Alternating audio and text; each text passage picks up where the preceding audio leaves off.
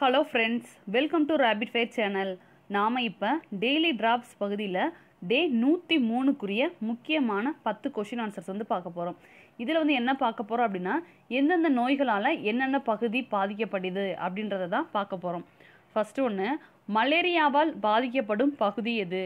மலேரியாவால் பாதிக்கப்படும் பகுதி மண்ணீரல். இதுக்குரிய ஆன்சர் மண்ணீரல். நெக்ஸ்ட்டு டைஃபாய்டு காய்ச்சலினால் பாதிக்கப்படும் பகுதி எது? டைஃபாய்டு காய்ச்சலினால் பாதிக்கப்படும் பகுதி குடல். இதுக்குரிய ஆன்சர் குடல். நெக்ஸ்ட்டு எய்ட்ஸ் நோயினால் பாதிப்படையும் பகுதி எது? எய்ட்ஸ் நோயினால் பாதிப்படையும் பகுதி எது அப்படின்னா உடலின் எதிர்ப்பு திறன். இதுக்குரிய ஆன்சர் உடல் எதிர்ப்பு திறன். நெக்ஸ்ட்டு ரேபிஸ் நோயினால் பாதிப்படையும் பகுதி எது? ரேபிஸ் நோயினால் பாதிப்படையும் பகுதி நரம்பு மண்டலமும் மூளையும். இதுக்குரிய ஆன்சர் நரம்பு மண்டலமும் மூளையும். நெக்ஸ்ட்டு போலியோ நோயினால் பாதிப்படையும் பகுதி எது? போலியோ நோயினால் பாதிப்படையும் பகுதி நரம்பு மண்டலமும் தண்டுவடமும். இதுக்குரிய ஆன்சர் நரம்புகளும் தண்டுவடமும். நெக்ஸ்ட்டு நிமோனியா காய்ச்சலினால் பாதிப்படையும் பகுதி எது? நிமோனியா காய்ச்சலினால் பாதிப்படையும் பகுதி நுரையீரல். இதுக்குரிய ஆன்சர் நுரையீரல்.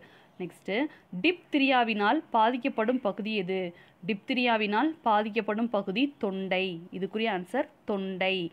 நெக்ஸ்ட்டு சீதபேதியால் பாதிக்கப்படும் பகுதி எது? சீதபேதியினால் பாதிக்கப்படும் பகுதி மலக்குடல். இதுக்குரிய ஆன்சர் மலக்குடல். நெக்ஸ்ட்டு ரணஜன்னியால் பாதிக்கப்படும் பகுதி எது? ரணஜன்னியால் பாதிக்கப்படும் பகுதி நமது உடலில் இருக்கக்கூடிய தோலும் மற்றும் உடல் எதிர்ப்பு திறனும். தோல் மற்றும் உடல் எதிர்ப்பு திறன். நெக்ஸ்ட்டு வயிற்றுப்போக்கினால் பாதிக்கப்படும் பகுதி எது? வயிற்றுப்போக்கினால் பாதிக்கப்படும் பகுதி மலக்குடல். இதுக்குரிய ஆன்சர் மலக்குடல்.